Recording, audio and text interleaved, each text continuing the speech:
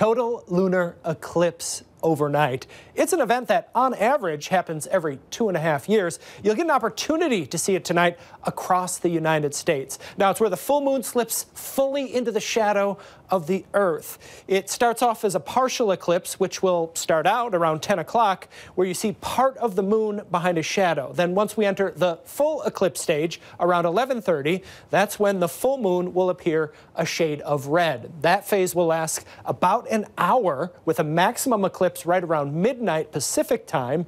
And then after that, we will enter the partial eclipse phase again as the moon slips out of the shadow.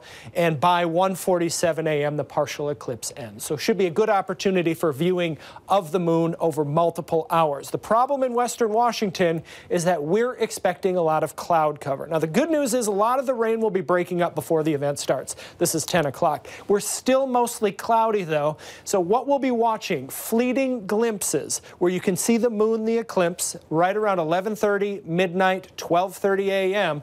You may need to be patient and realize some rain will be falling, reducing visibility further in some spots. But with a little patience and luck, you should be able to see it. Skies look clearer over eastern parts of the state, so good luck, and please share your photos with us.